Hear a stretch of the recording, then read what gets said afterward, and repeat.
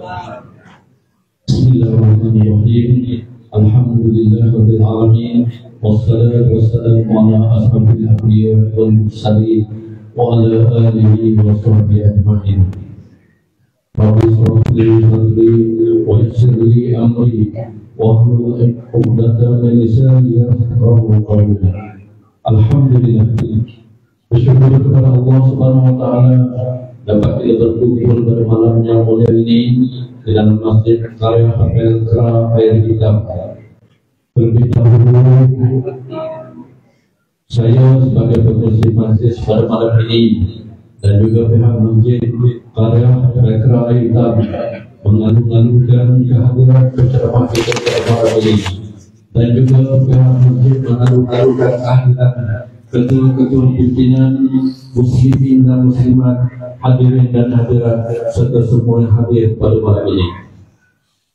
Muslimin dan muslimat yang dirahmati Allah. Pada hari Kamis kemarin adalah hari sambutan Isra dan Mi'raj. Dan pada hari ini pula 29 Rajab 1445 Hijrah. Maka sebulan sahaja lagi kita akan menyambut bulan Ramadan Al-Mubarak. Itu, sebenarnya Isra dan Mi'raj dan sebenarnya amal Ramadan pada malam ini kita akan mendengar ceramah yang akan disampaikan oleh seseorang yang merupakan cucu kepada ahli karya Pekra Aitan ini. Al-Fadil adalah pengurusi eksekutif pertubuhan sekuat pengurusan jenazah Malaysia SPJM. Beliau juga digelar sebagai Ustaz Undertaker.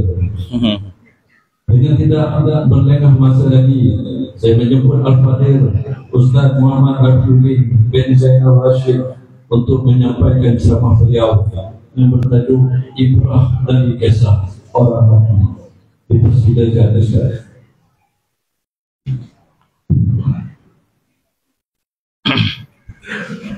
Mana sini ah?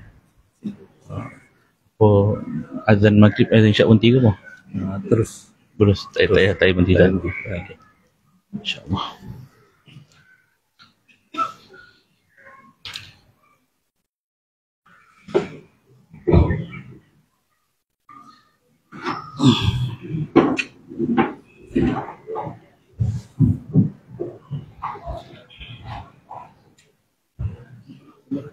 Okay. بسم الله الرحمن الرحيم السلام عليكم ورحمة الله وبركاته الحمد لله رب العالمين والصلاة والسلام على أشرف الأنبياء والمرسلين وعلى آله وصحبه أجمعين أشهد أن لا إله إلا الله وحده لا شريك له وأشهد أن محمدا عبده ورسوله اللهم صل على محمد وعلى آل محمد Rabbi syrah li sadri wa yassir li amri wahtami lisani yafqahu li amma ba'du. Alhamdulillah kita bersyukur pada Allah Subhanahu wa taala. Limpah kurnia rahmat dan kasih sayang Allah lah yang menggerakkan hati kita dan kaki kita untuk hadir dapat berjemaah fardu maghrib dalam masjid yang indah ini. Seterusnya menunggu waktu isyak dengan pengisian majlis ilmu yang diberkati dan mudah-mudahan diredai oleh Allah Subhanahu wa taala ini. Selawat dan salam ke atas junjungan besar kita Nabi Muhammad sallallahu alaihi wasallam. Berkat baginda lah kita mendapat nikmat iman dan nikmat Islam yang kita pegang hari ini. Mudah-mudahan kita istiqamah di jalannya sehingga di akhirat nanti kita beroleh syafaat Nabi sallallahu alaihi wasallam. Yang saya hormati pengurusi Baris Senjata Kuasa Tuan Imam, Tuan Bilal, uh, orang lama, atuk-atuk, wan-wan yang saya sempat jumpa tadi, uh, Tok Aziz, ya, sahabat saya Ustaz Farid, uh, mana ayah anda saya? Uh, Zainal Rashid, Zainal Rashid, tadi ada kejap ada, kejap tak ada. Mana ya je. ada kat luar apa? Kan? Ha. Dan juga tuan-tuan, puan-puan, ibu-ibu, ayah-ayah yang saya kasih sekalian segan saya nak bercakap dengan orang tua-tua saya depan ni ya. Diharapkan semua dalam keadaan sihat walafiat ya. Ha, masjid ni tidak asing bagi saya. Memang sejak daripada saya kecil lagi saya dah dibawa ke masjid ni. Kalau dulu saya dibawa oleh arwah tok saya lah. Orang sini panggil tok Wahab ya. Ingat saya dia meninggal 2007 ha, lebih kurang dalam hampir 18 tahun 17 tahun yang lepas ha, kemudian saya ingat lagi mandi jenazah masa tu kat situ. Sekarang dah jadi dewan dah ya. Sekarang tempat mandi mayat dah pindah ke hadapan ya di belakang sana jadi banyak perubahan dalam masjid ni yang kita lihat. Oh, Masya Allah kalau dulu memang asing lah ya, kita pun faham keadaan masjid, kekurangan jemaah dan sebagainya. Tapi Alhamdulillah hari ini saya menyaksikan, saya pun mengikuti juga uh, med- apa, laman sosial masjid yang aktif. Uh, sahabat saya Ustaz Farid pun selalu share program-program sini. Masa petugas dulu imam Ustaz. Uh, ya, didatangi oleh pedawah-pedawah hebat. Ramai yang datang ke sini dah ya. Yang mana masjid ni pun dulu tak ada aircon rasa aircon dah baru lagi ni. Ya kapet baru Masya Allah tuan-tuan. Rezeki Allah kurniakan kepada penduduk kampung Felkra hitam ini ya. Jadi melihat kepada uh, pengimarahan pada masjid ini merupakan satu keseronokan ya bagi kita uh, orang kampung sini. Dan lagi seronok kalau dapat kita istiqomah dalam mengimarahkan ini ya. Kalau di sebelah bandar sana dah mula program dah geng subuh macam Jumaat. Ha, jadi tak mustahil masjid ni. Mungkin dah mula dah kot program subuh macam Jumaat. Ha, ya. Ha, kalau subuh kat sini kalau Jumaat kat sini saya pernah jemaah Jumaat sini seingat saya sampai depan tu je kot tak tahulah sekarang ni ramai dah kot melimpah dah kot ya. Ha, jadi itulah kurniaan Allah Ta'ala atas penduduk kampung sini. Sebab tempat nak berkumpulnya kita nak berkenalannya kita nak bermuamalatnya kita tempat kita nak bersilaturahim inilah dia masjid. Ya kalau kita ada balai raya kalau kita ada dewan apa kumpul orang ramai mungkin hanya majlis-majlis tertentu tapi masjid ni lima waktu. Dalam waktu kita berkumpul ni lah kita akan kenal orang tu. Kalau dia tak datang orang pun tanya mana dia lah sihat ke tak sihat? Ha, maka di situlah silaturahim ya. lama tak nampak atuk tu mana pun ya sihat ke tak sihat jom kita pergi ziarah. Ha, itulah fungsi masjid jika dihidupkan. Tuan-tuan dan puan-puan ibu-ibu yang saya kasih sekalian ha, malam ini dijemput saya untuk tajuk tentang ibrah dari kisah orang mati ya. saya dalam bidang pengurusan jenazah ni baru lagi lah ya, kalau ikutkan pengalaman saya daripada 19 tahun dah dalam bidang ni. Ha, mana kata pengurusan jenazah daripada pengurusan jenazah setempat sehinggalah ke peringkat antarabangsa. Ha, bawa jenazah keluar negara, ambil jenazah daripada negara masuk dalam ni. Jenazah mangsa gempa bumi dan sebagainya. Itu di antara pengalaman saya lah dalam bidang fardu kifayah ini. Jadi banyak kisah yang kita nak kongsikan tapi kita mengambil ibrah daripada uh, peristiwa Isra' Mi'raj yang jatuh pada hari Kamis lepas 27 Rejab. Kita mengambil, mengenang balik kembali satu surah yang biasa dibacakan setiap kali masuknya menjelangnya sambutan Isra wal Mi'raj. A'udzu billahi minasyaitonir rajim. Bismillahirrahmanirrahim. Subhanallazi asra bi 'abdihi lailan minal masjidil haram ila al masjidil aqsa. Allazi barakna hawlahu linuriyahu min ayatina. Innahu huwas samiul basir. Sadaqallahul azim. Maha suci Allah yang telah menjalankan hambanya Muhammad pada malam hari dari Masjidil Haram di Mekah ke Masjidil Aqsa di Palestin yang kami berkati sekelilingnya untuk memperlihatkan kepadanya tanda-tanda kekuasaan dan kebesaran kami. Sesungguhnya Allah jualah yang maha mendengar lagi maha mengetahui. Surah Al-Isra' ayat 1. Satu surah yang menjelaskan tentang perjalanan seorang hamba Allah yang mulia.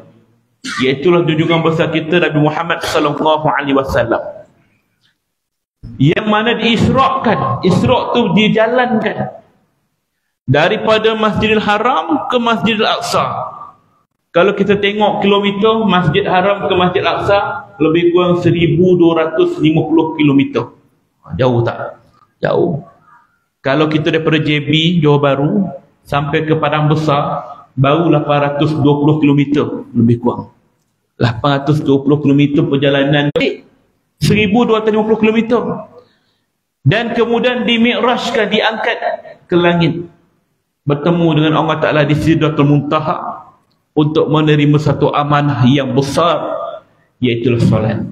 Segala ibadat lain semuanya dilalui ataupun melalui malaikat Jibril AS tapi hanya solat saja Allah bagi khusus kepada Nabi secara direct. Nak menunjukkan pentingnya ibadah solat ni kepada Musa AS disebut dalam riwayat langit kelima. Nabi Musa kata umat kau tak mampu. Umat aku yang kuat Bani Israel pun tak mampu. Minta kurang turun naik turun naik lebih kurang 9 kali maka jadilah daripada 50 kepada 5 saja solat. 5 waktu saja. Kan? Ha, ni perbincangan dia. Itu pun kata Nabi Musa umat kau tak mampu. Lalu kata Nabi aku rasa malu kepada Allah Ta'ala. Ha, maka disyariatkan kepada kita lima waktu ini. Kan? Kita pun dapat amanah ini. Maka berita ini sampai kepada penduduk Mekah bahawa Rasulullah telah pergi ke Aqsa dan pergi Mi'raj berjumpa dengan Allah dalam satu malam. Ketika itulah terbitnya ramai orang munafik ramai orang yang kembali fasid apa murtad ya. Ha, kenapa? Gila kot dia. Mana boleh datang ke sana satu hari dia tak yakin. Ini konsep iman. Dalam kisah Isra ini adalah iman, kepercayaan. Kau percaya ke tidak cerita pasal Nabi ni? Ramai orang goyah kan. Sebab apa? Benda gaib. Orang tak nampak benda ni kan. Ha, melalui lidah Rasulullah saja. Apa buktinya? Ha, jadi dia tak nampak bukti secara zahir, dia kata ini dah mimpang ni. Tak betul ni. Ramai yang kembali kafir. Yang percaya satu orang sahabat yang mana dia tak dengar daripada mulut Nabi lagi masa tu dia di pasar orang berjumpa dengan dia iaitu Sayyidina Abu Bakar As-Siddiq radhiyallahu kata pada dia wahai Abu Bakar kau dengar tak cerita yang tengah viral sekarang ni? Ha viral istilah sekarang ni kan. Cerita apa? Eh Muhammad kata dia semalam pergi ke Al-Aqsa kemudian naik ke langit. Lepas tu dia balik dalam masa satu malam je. Kau percaya ke? Kata Abu Bakar As-Siddiq radhiyallahu kalau benda tu keluar daripada mulut Rasulullah aku percaya. Masya Allah inilah orang yang digelar As-Siddiq yang membenarkan. Kau senang nak dapat gelaran tu? Tapi kerana dia percaya pada Nabi 100% kalau keluar daripada mulut dia aku percaya. Ha, punyalah dia kan. Maka apa ibrah kita nak ambil kat sini? Iaitulah keimanan kita pada benda-benda gaib. Benda gaib ini benda yang kita tak nampak. Benda yang kita rasa macam tak logik. Benda yang kita macam tak ada pembuktian dari sudut sains ataupun dari sudut apa saja kajian manusia tak nampak. Nah, ini benda gaib. Kan? Ha, kalau cerita pasal kewujudan Allah, kita yakin? Yakin. Macam mana? Kita yakin melalui dalam Rasulullah, melalui Al-Quran. Kita percaya hari kiamat? Percaya hari kiamat. Lalu kita beriman, kita beramal. Kita percaya hari apa bila kita mati nanti masuk dalam kubur, ada sisaan kubur. Kita percaya. Maka kita beramal. Mungkin inilah kita nak kaitkan dengan kisah kita pada malam ini. Ibrah orang mati. Ya. Ketika Nabi SAW dimi'rajkan. Nabi melihat banyak peristiwa-peristiwa antaranya ditunjukkan kepada Nabi. Peristiwa seorang disebut dalam hadis itu seorang wanita yang sedang memakan-makan. Ya daging yang busuk sedangkan di sebelahnya ada daging yang segar. Ha, lelaki dan wanita makan makan makan makan. Lalu dia bertanya pada Jibril AS wahai Jibril apa yang dia buat tu? Kenapa dia makan daging yang busuk tu daging bangkai tu? Kata Nabi kata Jibril sesungguhnya inilah orang-orang yang dahulu suka mengatur orang lain mengumpat orang lain maka umpama dia memakan daging saudaranya sendiri daging yang busuk dan jijik itu gambaran. Tapi benda tu Nabi lihat. Kita tak melihat kan? Tapi kita dengar melalui lisan Nabi. Yakin ke tidak? Yakin.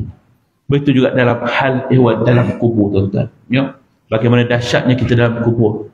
Ada satu kisah tuan-tuan yang saya nak kongsikan berkaitan dengan kita ada banyak kisah tuan ha, walaupun dalam buku saya ni saya ada buku saya buat ni 40 kisah orang mati. Ibrah dan iktibar. Ini kisah tentang masyarakat. Tentang kehidupan masyarakat yang penuh dengan tauladan yang saya lalui sendiri. Dia kalau tuan-tuan tengok dia tak macam dalam buku mastika ya. Ha, asal cerita orang mati je nak tengok cerita lidah terjoli lah.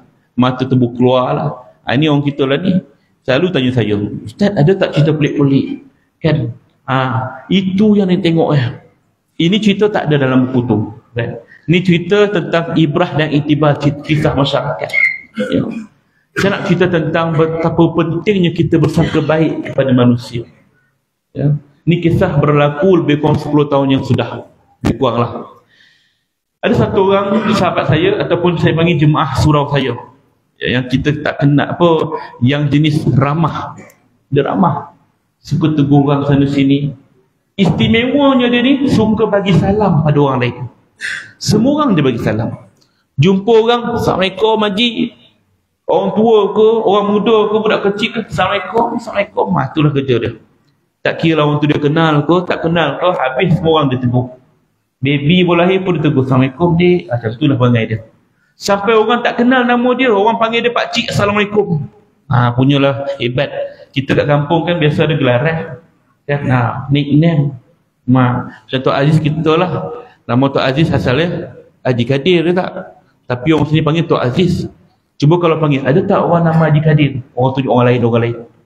Kalau sebut Tok Aziz, ah ni deh orang dia. Ha, jadi orang luar tak tahu kan? Ha, macam itulah di perumpamaan. Kita ada nama-nama tu. Kan? Macam ayah saya lah. Nama Zainal Rashid. Orang sini panggil apa? Anor kan? ya kan? Ke Rashid itulah. Jadi, kalau sebut luar, orang tak tahu tu gelaran. Tapi Pak Cik Assalamualaikum ni, ah, memang Sebut penjelasan kau, ah, kenal, kenal. Maka dia suka bagi salam. Satu hari tuan-tuan, waktu semayang zuhur, lebih kurang lebih kurang dalam 10, 15 minit sebelum azan zuhur. Kami duduk. Masa tu saya masih bertugas jadi imam kat situ. Kita ada dua tiga orang jemaah menunggu waktu zuhur di luar. Surau tempat kami ni sebelah ada kedai. Kedai uncip macam tu lah. Ha, jadi dia pun lalu. Dia pun tegur. Assalamualaikum Ustaz. Waalaikumsalam. Mana Haji? Panggil nak pergi beli apa nak pergi kedai kejap. Pergilah. Dia pun pergi. Tak lama lepas tu sekejap dia patah balik. Assalamualaikum Ustaz. Tegur lagi. Oh salam baik cepatlah beg duit tertinggal kata. Ah tu dia. Nak jadi kisah kan okey okey okey. Dia pun pergi. Tak lama lepas tu dia patah balik. Dia dah kena ambil duit. Assalamualaikum Ustaz. Oh salam Haji ah saya dah ambil dapat duit ni nak pergi kedai okey pergilah Assalamualaikum oh salam macam itulah tabiat dia Betul tak betul orang tua ni kan? Macam itulah pemikiran kita kan? Lepas tu dia patah balik. Assalamualaikum Ustaz. Waalaikumsalam. Dah boleh dah. Dah ni roti. Beli roti je. Saya gerak dulu ya. Okey. Assalamualaikum. Jalan. Maka itulah keramahan dia. Tapi dikata orang juga. Orang mengata dia juga. Dia tu bagi ya salam kan? Mm -mm. Tapi masuk surau pun tidak. Ha, tu masalah dia. Tak pernah ajak surau. Itulah masalah dia. Ya, dia ramah, tak ada masalah dengan orang surau, tapi dia tak pernah masuk surau. Orang pun cakap, apalah dia tu kan tak masuk surau langsung. Saya pun kata, kita pun tak pernah tegur dia. Apa masalah dia? Kan? Kita segan nak ajak dia. Ha, tu masalah kita kan. Satu hari tuan-tuan, pada malam Jumaat, lepas kita baca Yasin ada jamuan kan, Paisyak tu. Tiba-tiba, ada satu orang budak muda dalam perpuluhan. Ha, dia nak cari imam. Saya pun tak kenal dia sebab dia duduk di luar. Dia kata, Assalamualaikum Ustaz, apa dia? Uh, saya nak minta bantuan untuk uruskan satu jenazah ayah saya baru meninggal dunia. Inna lillahi wa rajul. Siapa ayah? Orang sini ke? Ya orang sini. Siapa nama dia? Johari. Johari, saya pun cek, tak rasa tak, tak kenal saya. Saya orang lama sini, saya tak pernah nampak nama, tak pernah dengar nama ni. Lepas tu anak dia ingat, oh Ustaz, orang sini tak panggil dia Johari. Orang sini panggil dia Pakcik. Assalamualaikum. Inna lillahi wa rajul. Dah meninggal dah dia. Pakcik Assalamualaikum meninggal. Ya. Abang ni anak dia. Ya. Tak duduk sini. Saya duduk luar kan. Ha, duduk kawasan luar. Mana arwah? Dekat hospital Kuala Lumpur. Jadi kami nak bawa jenazah ke sini malam ni juga. Boleh bawa. Van jenazah pun sampai dalam pukul 11 malam. Saya tunggu. dan ketika itu jemaah pun tunggu dan ketika itulah jenazah pun masuk dan itulah kali pertama kami melihat dia masuk ke surau. Bukan sebagai jemaah tapi sebagai jenazah. Orang pun cakap masuk juga dia ke surau kan? Dia jadi jenazah masuk dia ke surau. Allahu Akbar kan. Jenazah pun dibawa ke dalam. Anak pun tanya saya Ustaz bila kita nak uruskan jenazah ni? Saya kata kat KL ni kita jangan pelik lah sini kubur office hour pukul 8 sampai pukul 5 lepas habis. Besok pula kan? Office hour tuan-tuan. Banyakkannya kalau belah-belah kampung saya tak tahu lah. Sini sini office hour juga tu malam pun boleh. Ah boleh. Saya dengar pengusi tadi kata nak beli elevator apa? Excavator. Masya Allah. Dana dibuka 21 ribu. Tapi dah dapat lebih 30 ribu. Rezeki barakah Allahu Akbar kan? Senang nak gali kubur kan? Sweater kecil je kan? Tapi dia boleh membantu kita memudahkan kita. Tapi kat KL tu lah kuliah petang habis. Dia ingat malaikat tu kerja office hour juga kan? Tapi tak tahu lah peraturan dunia kan? Jadi nak pendek cerita saya kata kat dia kita tak buat kumi malam kalau nak kumi esok pagi. Ok ustaz tak apalah kami ikutlah sini. Jadi nak mandi bila? Saya kata pada dia kalau boleh kita mandikan malam ni juga. Ha. mesti orang tu tanya-tanya kenapa nak mandi malam besok nak kubur besok lah baru mandi ha, ini kebiasaan masyarakat kita tapi ramai orang tak tahu apakah kelebihan mandi mayat malam tu kalau kita meninggal dah siap dah ada surat permit kubur tu surat daftar kematian terus mandikan hikmah pertama apa dia pertama jenazah tu masih lembut lembut kan Badan dia lembut baru meninggal. Lepas 4 jam, 6 jam, badan dia keras. Darah beku, urat tegang. Jadi kita nak buang najis pun kadang-kadang susah. Jadi baru meninggal, terus uruskan. Itu hikmah pertama, mudah. Yang kedua, bila kita uruskan jenazah tu dah siap mandi, kafan, dia dah wangi. Bersih. Maka orang yang datang, dia selesa. Orang pun cakap, eh wangi arwah ni. Bersih, macam tidur je arwah ni kan maka ucapan yang baik-baik akan keluar daripada mulut orang datang Nabi dah kata dah hendaklah kamu berkata baik-baik ketika ini. Ha, sebab apa? Ketika itu peristiwa Nabi waktu itu Abu Salamah radhiyallahu meninggal dunia. Lalu ketika itu matanya terbuka. Abu Salamah meninggal mata terbuka macam ni. Sahabat melihat mata terbuka semua berkata-kata apa kena mata terbuka tu? Eh apa dia buat tu tidur Macam tu lah kita kan Tengok benda pelik sikit. Apa kombong bona perut budak tu ha, Kita suka nak menegur kan. Nampak pelik sikit Kita akan mula kaitkan Ni mesti ada mula-mula kait elok kan. Tengok bagi nak apa buat kan. Ha, Mulalah kata macam-macam kan. Lalu Rasulullah dengar rumutan-rumutan itu Lalu Nabi pun masuk Dan terus pergi ke jenazah Abu Salamah. Nabi terus tutup matanya. Sunnah kita bila tengok mata jenazah terbuka Cuba tutup mata. Tutup matanya dan kemudian Nabi kata sesungguhnya roh orang bila keluar daripada jasadnya akan melalui ubun-ubun di kepalanya. Maka matanya, pandangannya akan mengiringi pemegang roh. Dia akan tengok. Maka Nabi nak maksudkan pandangan mata itu terbuka adalah fitrah. Mayat mati mata terbuka itu fitrah, benda biasa. Tak ada benda-benda pelik dah. Kan? Lalu Nabi kata kepada para sahabat, hendaklah kalian berkata baik-baik di saat ini kerana ketika ini malaikat yang hadir semuanya mengaminkan kata-kata kita. Ha, ini kias kepada amalan kita. Lepas main jenazah kadang-kadang imam akan sebut. Apa kita nak saksi pada mayat ini? Baik. Apa kita nak kata pada mayat ini? Baik. Ha, inilah dalil dah. Nabi kata ucap yang baik. Malaikat aminkan kata-kata kita. Kan? Ha. Berbalik kepada tadi, bila orang datang orang cakap yang baik-baik, itu doa untuk si mati. Hikmah yang ketiga apa dia? Bila kita uruskan jenazah pada malam hari, bila berlaku kematian, orang akan datang anytime, bila-bila masa saja. Pukul 2 pagi pun orang datang, pukul 3 pagi pun orang datang. Orang akan datang ziarah. Maka orang yang datang ziarah tu dia tak akan datang saja-saja. Dia berpeluang untuk apa? Solat jenazah terus. Ha, tu kelebihan dia. Solat jenazah. Orang kata, eh, bukanlah kita nak solat jenazah pagi esok. Eh tak ada masalah solat jenazah bila-bila masa. Ramai-ramai pun tak apa. Bergili-gili pun tak apa. Lagi bagus. Solat jenazah. Maka orang datang kadang-kadang kata, besok nak kumi ya? Ha, Allah minta maaf lah. Saya besok outstation. Saya tak dapat nak hadir. Ha, saya dapat ziarah malam ni je. Kalau dia tak mandi kapan, orang datang doa je lah. Lepas tu balik. Tapi kalau dia dah siap mandi kapan, okey boleh solat dulu. Ah, solat. Masya Allah. Kata Nabi SAW, barang siapa yang disolatkan oleh 40 orang lelaki yang tidak menyekutukan Allah dengan apa pun, satu apa pun, maka wajib baginya syafaat di akhirat nanti. 40 orang. Ulama kata 40 orang tu boleh berlaku serentak, ramai-ramai. Boleh juga berlaku ikut berapa banyak jumlah yang datang, bergili-gili ke apa ke. Lebih daripada 40 tu kibaik lah tu. Masya Allah bayangkan daripada malam meninggal sampai subuh orang datang solat jenazah. Solat jenazah. Solat jenazah. Boleh ke? Boleh. Ketika Rasulullah sallallahu alaihi wasallam diambang waktunya sihat, Abu Bakar pernah tanya pada dia. Ya Rasulullah, ketika kau wafat nanti siapa yang akan uruskan jenazahmu? Ha, Abu Bakar pernah tanya Rasulullah. Nabi kata, yang mula-mula uruskan jenazahku ialah ahlul bait keluarga maknanya orang yang perlu uruskan jenazah ya keluarga. Sebab apa keluarga? kerana keluarga dia akan jaga aib pada mayat ha, bukan nak kata tukar mandi jenazah tu buka aib tidak. Tapi yang lebih menjaga ialah keluarga.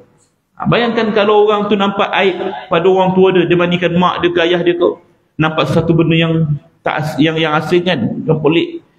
Adakah dia cerita ke orang lain Tadi aku mandikan arwah abah aku begini ha macam ni ha. Tak ada tuan-tuan. Dia akan diam. Sebab aib keluarga dia.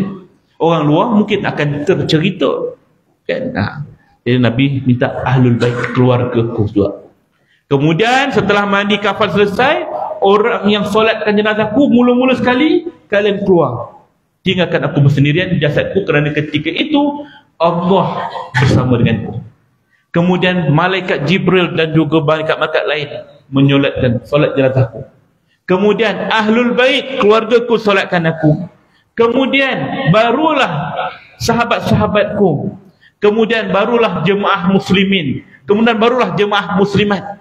Nabi kata bergili-gili-gili. Sebab apa? Faktornya pertama, rumah Nabi kecil. Tak mampu nak muat untuk semua orang. Faktor yang kedua, waktu itu umat Islam dah ramai. Merata-rata dah.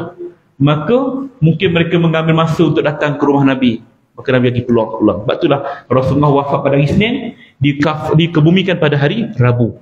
Selain daripada nak bagi ruang pada orang untuk hadir solat jenazah untuk ruang juga membentuk khalifah yang baru. Kan? maka dia disebut tadi Ustaz, eh, itu hikmah dia. Orang boleh solat jenazah bergila-gila. Masya Allah. Bayangkan daripada malam datang orang solat jenazah dia hikmah yang ketiga ketiga keempat ukur saya ya? Apa dia? Jika kita dah mandi jenazah, dah kapan jenazah, terus solat jenazah. Ada orang kata, macam mana pula ustaz kalau kita mandi malam? Besok tu ada keluar najis. Kan dah susah nak kena mandi balik, nak kena tukar kapan balik. Ha. Kita kena faham, bila seorang tu dah siap mandi, dah siap kapan, dah siap solat jenazah, kemudian besoknya baru nak buat solat jenazah ramai-ramai. Maka tak ada masalah. Kerana solat jenazah rukun yang awal tu dah selesai dah malam tadi. Ha, jadi kalau keluar najis tak ada masalah. Ya kita nak tukar ke tak tukar pun tak ada masalah. Darah ke apa keluar. Tapi kalau misal kata dia dah mandi dah kafan kemudian kata besok baru nak solat. Tunggu satu malam. Lepas tu nak solat panggil orang jemaah masjid semua datang tiba-tiba keluar darah keluar najis. Wajib ketika itu bersihkan balik kotoran yang ada pada jenazah dan wajib buka kain kafan yang baru. Kerana syarat sah solat jenazah jenazah dalam keadaan bersih. Ha, dia kena clear. Tapi kalau jenazah dah, dah siap solat dah rukun dah lepas dah malam tadi ni kami nak buat solat jenazah untuk kami je maka tidak perlu tukar pun. Ha, itu kena faham ya? Jadi solat jenazah boleh berkali-kali. Yang pertama tu je yang rukun yang wajib setelah itu sunat saja okey Kemudian tuan-tuan, bila orang datang, orang boleh solatkan dia, maka itulah kelebihan dia. Berbalik pada cerita tadi. Maka jenazah itu pun dibawa ke tempat mandi. Bila dibawa ke tempat mandi, kita nak mandikan jenazah tu, dah betul dah isyak ya. Isyak ke tu? Oh, jam tersilap. Oh, saya dah risau juga betul nak suruh habis ni. Lepas selesai saja kita dah siap waktu waktu jenazah dah diletakkan dekat tempat mandi tu, kita buka kain hospital yang putih tu buka dan ketika itu saya bersama anaknya dan ada dua tiga orang lagi jemaah surau. Waktu itulah tiba-tiba saya nampak dekat perut jenazah ini ada satu stomach bag. Ah, bag najis. Bermaksud dia ni ada penyakit dalam sistem kubuhan dia tu. Saya pun terkejut. Bila masa orang tua ni sakit ni? Saya tanya pada anak dia, bang, arwah abang ni sakit apa? Dia kata arwah abang ni sakit kanser usus. Oh, baru tahu selama ni nampak dia sihat aja tegur orang sana sini.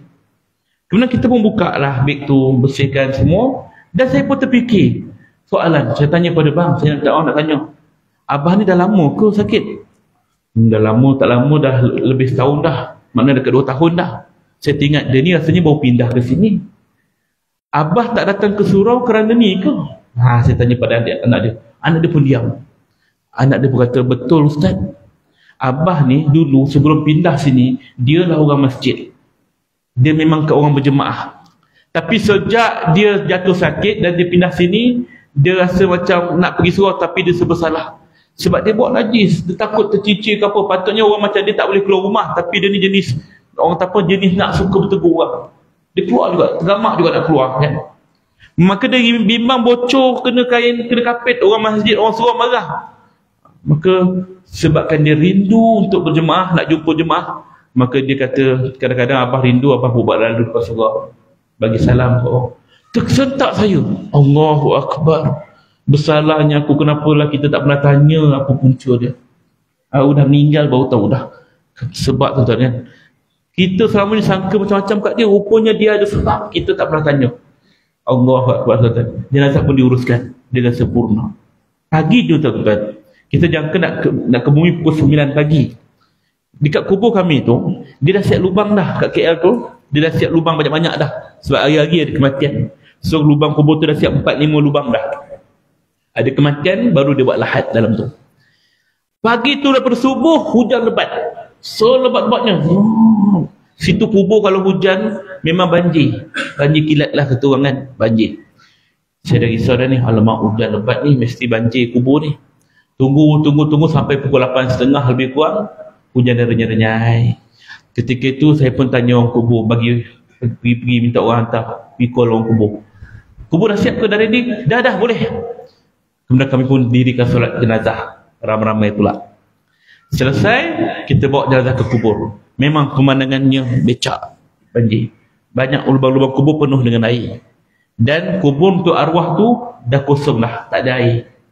Saya tanya pada penggali kubur, Pakcik cepat betul buang air Guna mesin ke yang sedut tu vacuum kan Sebab cepat sangat Kita dalam perjalanan biasanya dia akan cedok lagi Cedok lagi Tapi cepat betul Ada becak di lantai tu Apa kata dia Ustaz Memang saya mari sini nak buat lahat Dah tak ada air dah. Allahu Akbar. Tak ada air dah. Logiknya air akan keluar ikut lubang kat sebelah tu. Air ikut mata air tu kan. Dan yang lebih tak logiknya ada satu bumbung wakaf rumah apa pondok wakaf tu bumbung dia tu air jatuh betul-betul kat dalam lubang tu. Tapi serah terus masuk dalam bumi. Apa amalan orang tua ni? Sehingga kan begini sekali Allah muliakan dia. Saya tanya pada pak cik macam mana boleh jadi macam ni dia kata inilah kuasa Allah mungkin ada amalan arwah yang menyebabkan dia dimuliakan macam ni ha, orang kubur tu mungkin dia dah biasa dah jumpa situasi tu kita ni yang first time terkejut lalu jenazah pun dikebumikan Setelah ke bumi saya tak puas hati. Saya panggil anak dia. Bang, bang saya nak tanya. Arwah apa ni siapa? Apa yang malam orang tua ni kan? Dia kata, abah biasa je. Semayang, dia selalu bangun malam ke? Jarang juga, kadang-kadang ada lah. Dia selalu sedekah ke? Eh, dia pun bukan jadi duit sangat. Dia ada orang tua ke yang dia jaga? Tak, mak ayah dia dah meninggal dah. Apa amalan dia ni? Lalu kata, tak tahu loh Ustaz. Abang orang biasa je. Tapi yang saya tahu dia ni memang daripada muda dulu memang suka bagi salam. Tu je amalan dia. Bagi salam. Tuan-tuan. Ya. Saya teringat hadis Nabi sallallahu alaihi wasallam. Afshuhus salam. Sebarkan salam. Beri makan orang. Sambung silaturahim dan dirikan solat di malam hari. Maka masuklah ke dalam syurga ikut pintu mana yang kamu nak. Empat perkara yang mudah bagi salam, bagi orang makan, sambung silaturahim, apa nama, dirikan solat pada waktu malam. Okay, mulai. Pintu syurga terbuka semua pintu. Ya Allah tuan-tuan ya. Orang tu ni bagi satu amalan je. Assalamualaikum je. Tapi Allah berkati dia sampai kita melihat peristiwa yang menakjubkan itu. Ha, ini bukan cerita mastika saya cedok ni tuan-tuan. Ini cerita betul kan. ya. Jadi apa yang kita nak ambil ialah pentingnya kita ni bersilaturahim sama kita. Antara apa hubungan kita dengan orang lain hubungan persaudaraan Islam ialah dengan cara bagi salam. Ha, itu ialah dakwah kita. Kan? Tuan-tuan. Satu kisah yang nak saya kongsikan pada tuan-tuan ya, berkenaan dengan kelebihan orang yang mati. Baik, tuan-tuan. Baik.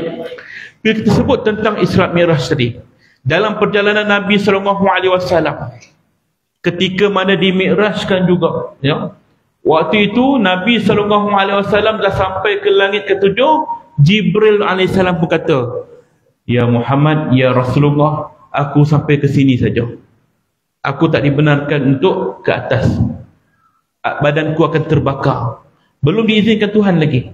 Lalu Nabi sendiri yang naik. Nak menunjukkan apa? Betapa mulianya manusia ini sehingga apa? Sehingga malaikat pun belum bertemu Allah lagi. Kita temu Allah dulu. Ha, mulianya kita ni. Makhluk Allah Ta'ala kan. Yang dimuliakan. Ya. Di sini saya nak ambil ibrah tentang betapa perlunya kita bersangka baik kepada semua orang. Kadang-kadang tuan-tuan, bila kita melihat kematian orang yang kadang-kadang nampak macam teruk ataupun dalam keadaan uzur ataupun dalam keadaan menyedihkan, bahasa kasarnya su'ul khatimah, kematian buruk. Ketika itu kita diuji. Bagaimana sangkaan kita pada dia? Kita disunahkan untuk bersangka baik pada orang.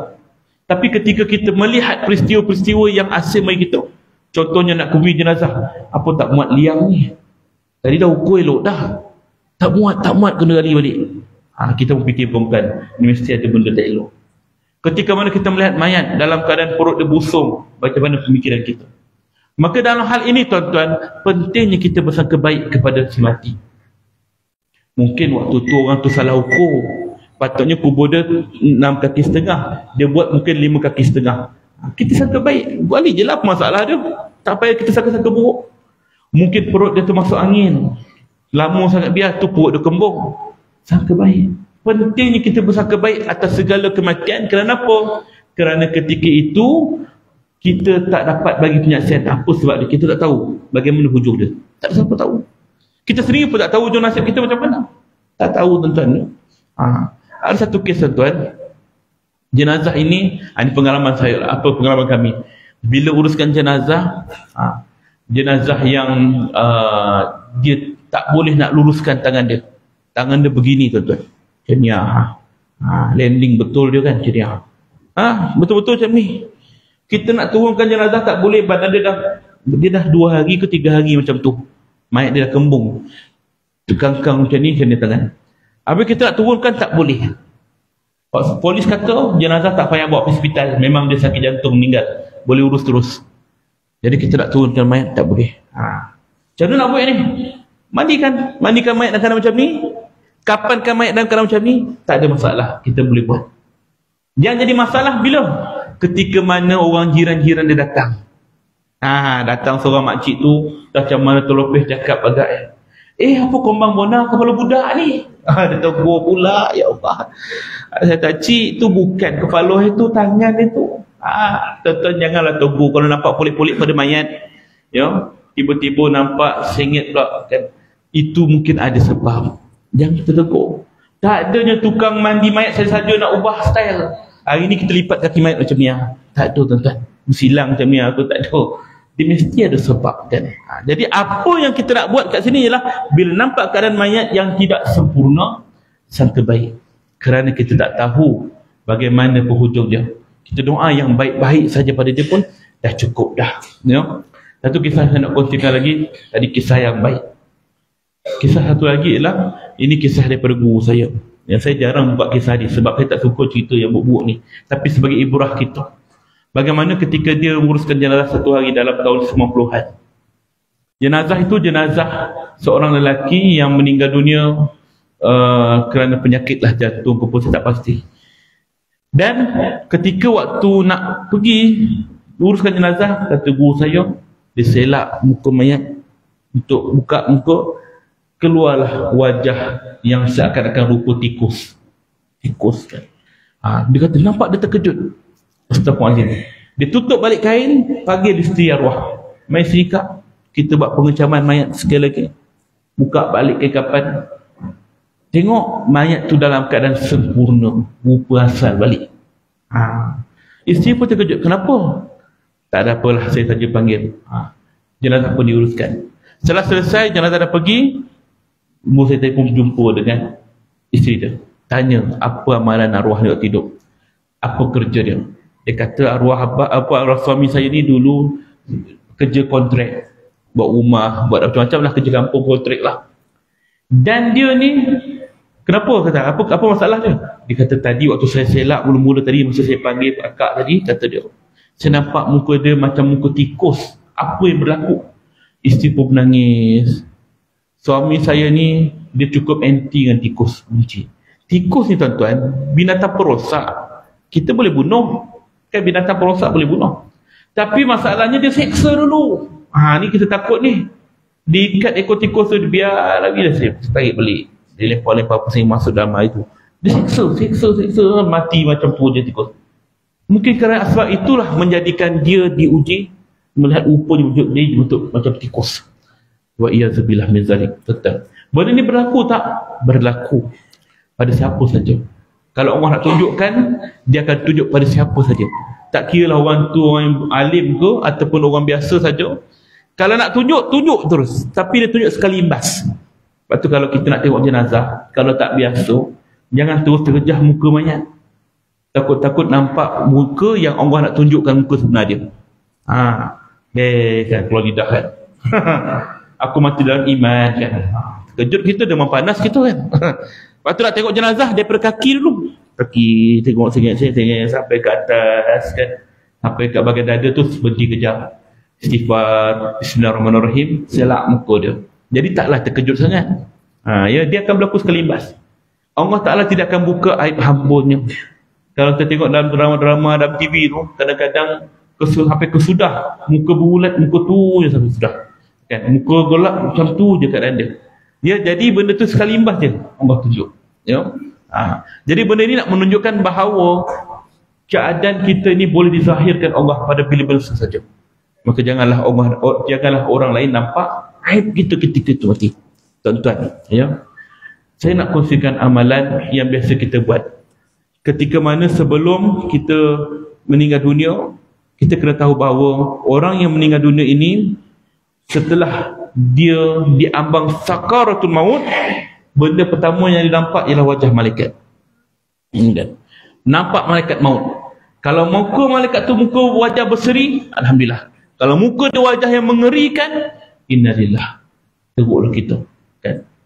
Antara tanda-tanda husnul khatimah ialah orang tu meninggal dalam wajahnya berkeluh. Keluh. Ya? Dahinya. Rasa kesan. Ni tanda yang baik Kemudian kita bercerita pada orang lain. Arwah ni dahi dia berpeluh. InsyaAllah baik. Kita bercerita. Ataupun kita melihat tandanya mungkin dalam keadaan uh, jenazah dia uh, dalam hadis menyebut selain daripada wajah yang baik, dia boleh mengucap kalimah La ilaha illallah. Itu tanda yang baik. Ya. Kalau kita nampak tanda yang baik, sunat untuk kita cerita pada orang. Tanda yang baik, hari ni hari Jumat meninggal. Baik tanda ni.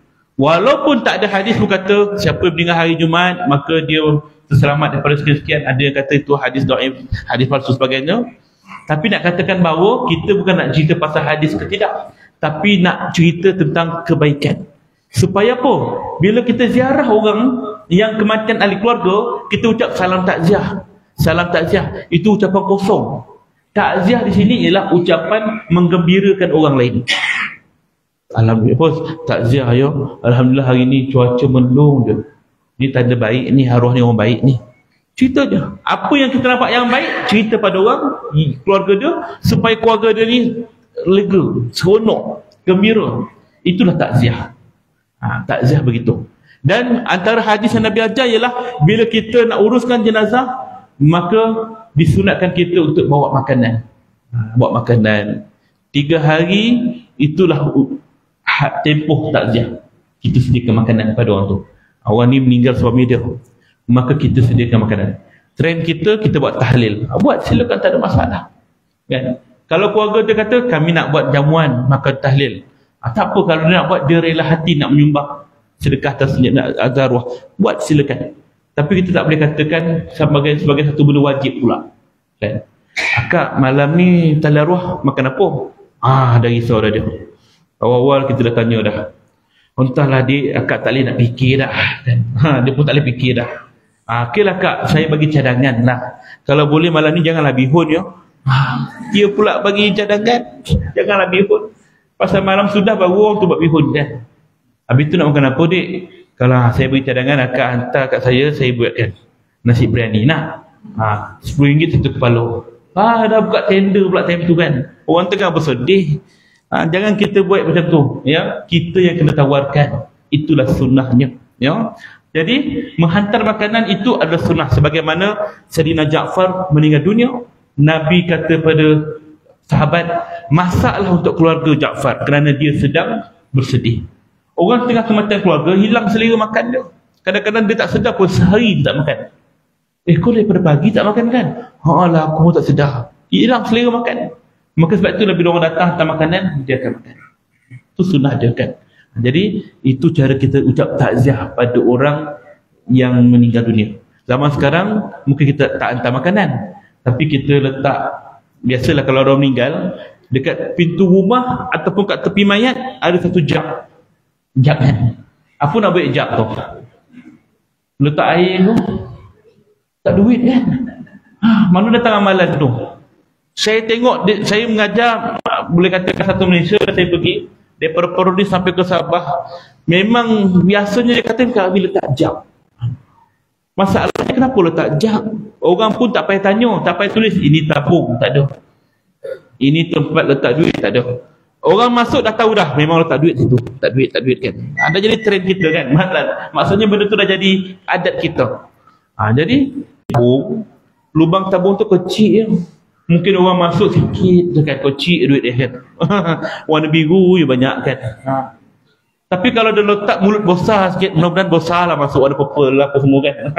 Jadi nak katakan begitulah. Ya. Orang yang dalam kematian keluarga ni, begitulah cara kita nak gembirakan dia. Dan bagi semangat. Duit tu terpulang pada dia. Dia nak guna ke, dia nak sedekah, nak buat makanan ke, nak buat tahlil ke, tu dia punya pasal. Bukan duit arwah tu. Tu duit keluarga dia. Kan?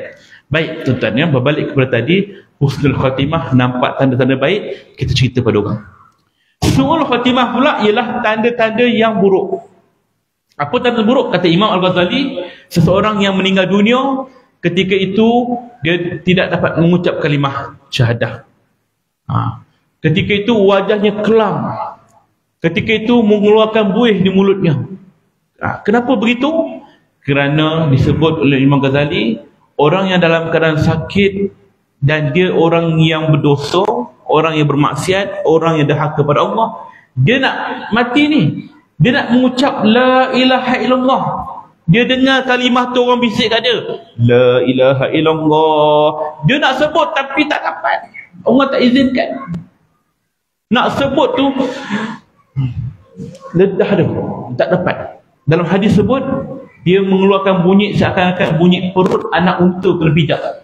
Ah, dia kena pijak. Ah, dia tu. Ah, tak dapat. Lidah dia bergulung-gulung sampai berbuih mulut dia nak sebut kalimah tu. Muka dia kelam kerana tak dapat nak menyebut. Bergelumang ya, tak semua nak sebut tak dapat. Kenapa dia nak sebut kalimah ni tapi orang tak izinkan? Yusabbitungahu allazina amanu biqauli sabit fil hayati dunya wa fil akhirah. Allah teguhkan ucapan orang beriman dunia dan akhirat. Kalau orang yang beriman, orang yang orang beramal soleh, walaupun dia mati sendiri kat rumah, sendirian kat rumah, dia pasti dapat ucap kalimah la ilaha illallah. Ini janji Allah. Apatah lagi kalau orang sebut, dia pasti akan dapat sebut. Wa yudilu zalimin dan Allah boleh sesatkan orang zalim. Siapa orang zalim ini? Orang yang bermaksiat, orang yang derhaka pada Allah Taala. Di hujung usia dia, dia nak sebut kalimah tu, orang ajar pada dia, tapi Allah tak izinkan. Dia tersedak lepas tu bunyi oh, oh, kan. ha, nak meninggal dunia akan begitu. Wa yaf'alu ma yasha. Allah boleh buat apa saja yang dia kehendaki. Dia kenal kita macam mana tuan-tuan. Maka bila kita nampak tanda-tanda sungguh khatimah pada orang yang dalam yang baru meninggal dunia kita wajib diam. Jangan kata apa-apa.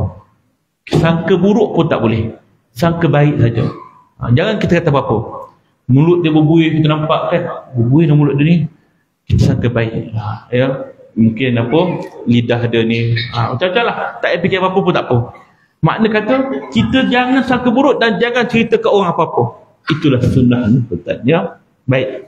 Dan kita tahu bila seseorang tu meninggal dunia tak ada apa-apa lagi yang dia boleh harapkan ya. Melainkan amal soleh yang dibuat dahulu. Itulah yang dia akan raih antara amalan kita untuk mengelakkan sisaan kubur apa dia?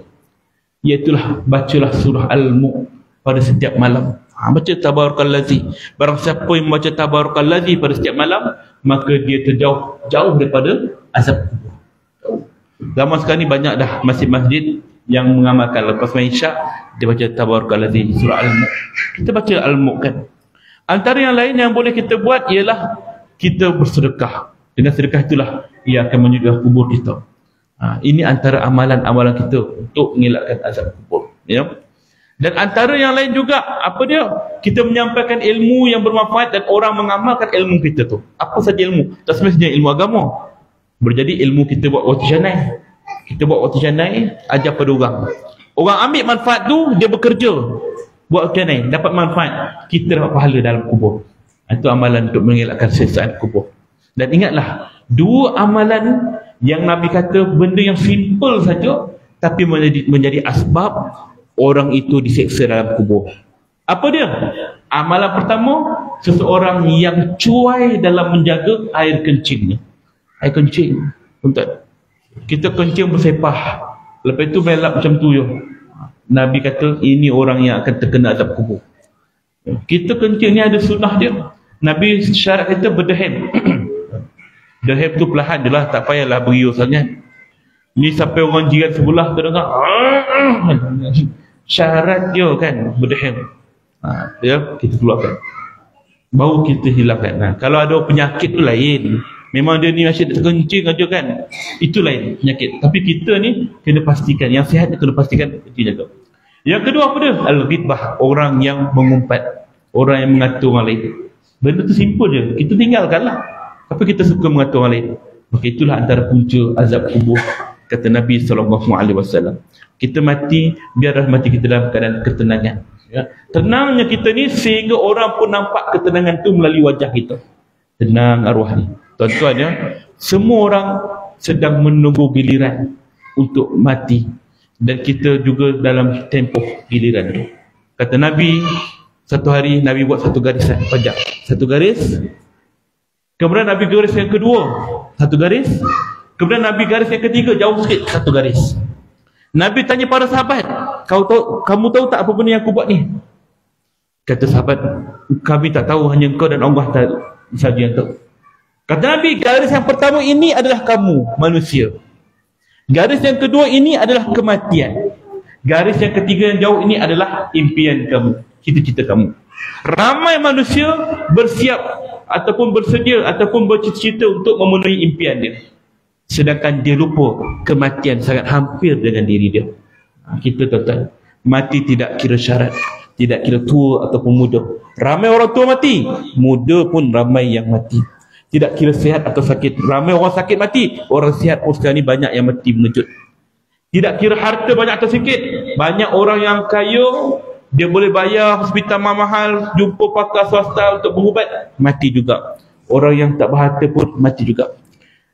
Tak kira pangkat tinggi atau rendah. Dia menteri ke, dia raja ke, dia agung ke. Dia tetap sampai masa mati juga. Orang biasa ke, kerja biasa ke, mati juga dan tidak kira sama ada kita bersedia ataupun tidak. Aku dah bersedia ya Allah, maka kita mati juga. Dengan saya. Aku tak bersedia ya Allah, mati juga. Maka mati ni tak ada syarat. Satu je syarat mati. Apa dia? Kullu nafsin za'iqatul maut. Setiap yang hidup pasti akan mati. Maka syarat mati itu adalah hidup. Maka bersedialah kita untuk menghadapinya. Tuan-tuan, maka ambillah pengajaran daripada kisah orang mati. Ya, ambil pengajaran yang baik. Jadi sebagai penggulungan tuan-tuan, kita kena banyakkan menziarahi kubur. Dua perkara yang sangat-sangat dituntut oleh orang dalam kubur. Apa dia? Pertama, doa. Kita doa ni, siapa yang doakan untuk ayah ibu dia? Tentulah anak-anak. Ada tak orang doakan untuk kawan-kawan? Tentu ada. Ada tak orang doa untuk saudara mara dia, atau nenek dia? Tentu ada. Tapi berbeza waktu. Anak-anak akan doa mungkin setiap waktu solat. Allahumma furli wali warham maka barak wa.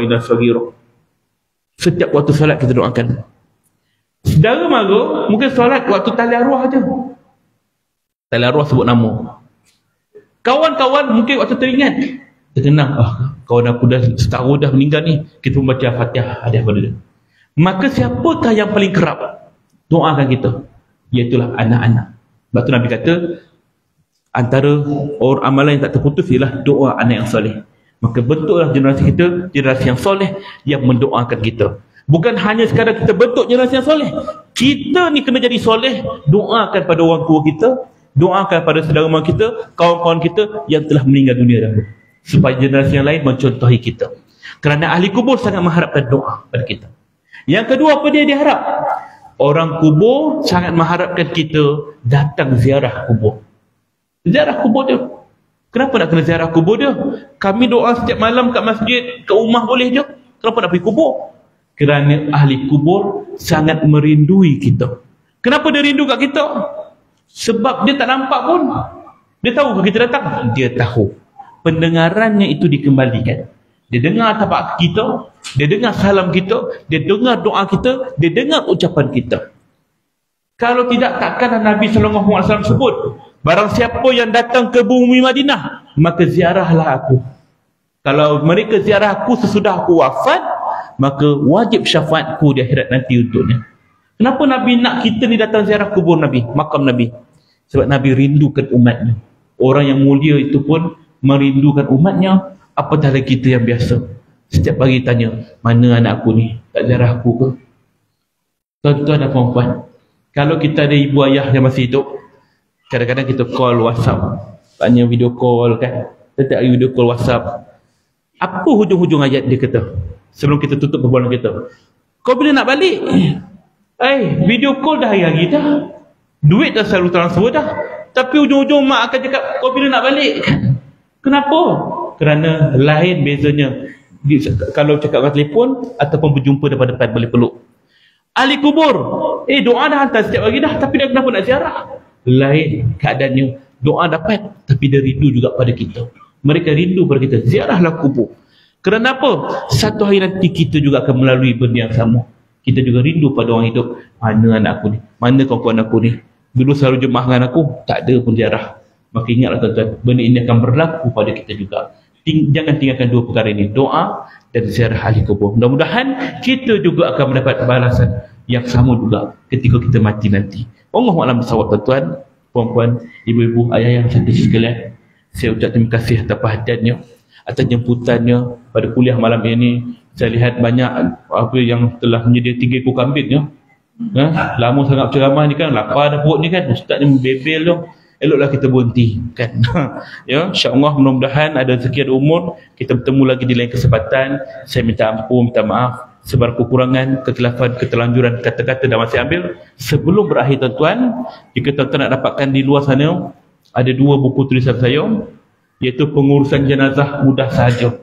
Dalam ini diselitkan tentang pengurusan jenazah mayat bukan biasa saja. Mayat reput mayat berisiko tinggi HIV AIDS TB COVID mati terbakar semua ada. Buku apa solat jenazah uh, termasuklah tayamum talqin semua ada. Kalau kat luar ni kita jual 35 dekat sini istimewa lah 40 boleh? Eh, lebih pula ustaz ni kan eh 40 ni bukan sebuah kalau ambil dua Ah, mana satu ni 20 lah. Satu lagi ni apa? Ini ialah 40 kisah orang mati. Ha, ini pengalaman saya itulah yang saya kongsikan. Kalau tuan-tuan berminat nak dapatkan, boleh dapatkan di uh, meja di luar sana. Ada setia saya yang bersedia. Ha, InsyaAllah tuan-tuan ya. Baik mudah-mudahan saya doakan masjid ni terus subur dengan majlis ilmu, dengan jemaah datanglah istiqomah azan dalam diri kita ya Allah aku nak hadir. Tak dapat uh, dua waktu pun lima waktu pun alhamdulillah. Azim. Niat kan? Biar niat lebih kan? Insyaallah Allah berkati penduduk kampung Aitam ini insyaallah. Jumpa lagi dalam kesempatan. Assalamualaikum warahmatullahi wabarakatuh.